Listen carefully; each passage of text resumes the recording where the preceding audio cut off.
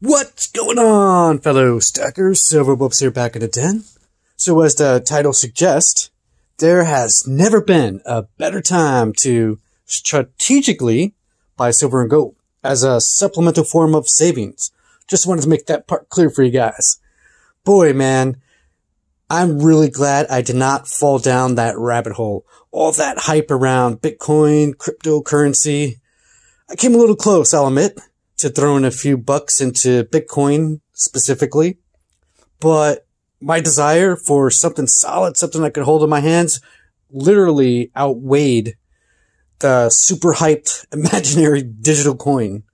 You know, right now during the recording of this video, Bitcoin sitting around 16,800, but don't let that fool you. There is big money right now buying a crap on a cracker load, keeping that price up before it goes ass over tea kettle. And this whole crypto market is really starting to look like a cesspool right with corruption, right down to the core. So unless you've been living under a rock, it's really, in my opinion, ready to implode. I'm saying this because there are a lot of people in my life right now who fell into that bear trap and are really feeling it right now. You know, it, it's sad to watch. As you can tell, I was never a big fan.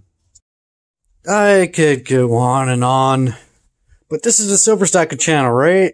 Not Silver Wolves venting his laundry channel. Hopefully that's why you clicked on this video. So despite the obscene premiums in silver right now, in my opinion, it's still looking pretty good.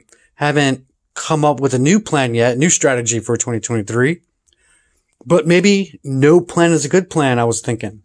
As was suggested by Cyber Curtain Twitcher, not sure if you heard of him. British stacker from overseas. Uh, in my opinion, a true veteran of the trade. Uh, left a link below to his homepage if you're interested. Please check him out. You definitely will not be disappointed. So on that note, I am leaning towards no plan, no stacking strategies going into 2023. Also want to mention here, I will not be influenced by all these damn FOMO clickbait videos about stacking and collecting silver. You know the ones I'm talking about. Silver jumps $1, then the thumbnails start coming out. Silver skyrockets, silver explodes, gets, gets 1,000 clicks in one hour. What the hell? Jesus, Mary and Joseph. It's crazy. I must have a dictionary from an alternate universe or something. One to two dollars is not an explosion to me. If silver jumps say $5 in one to two days, then you might have my attention. And I, and I will say this is all coming from a lot of those bigwig channels out there. I think, um, I need to tone it down a little bit here. I've lost count of how many videos I recorded and deleted where I expressed my, I guess you could say more negative thoughts, if you will. Know, I kind of want you guys to experience the real silver wolves not just some voice, some guy putting out a generic silver stacking video, trying to gain subscribers, clicks, and comments. Know, maybe I'll publish this one. You know what? I'm going to do it. I'm going to put this out into YouTube land.